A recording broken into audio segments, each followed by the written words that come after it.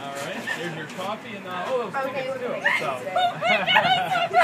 what's your name? Shelby. Shelby. What's your last name? Carl. Shelby Carl. Congratulations. Enjoy the show. All right. We'll see you there.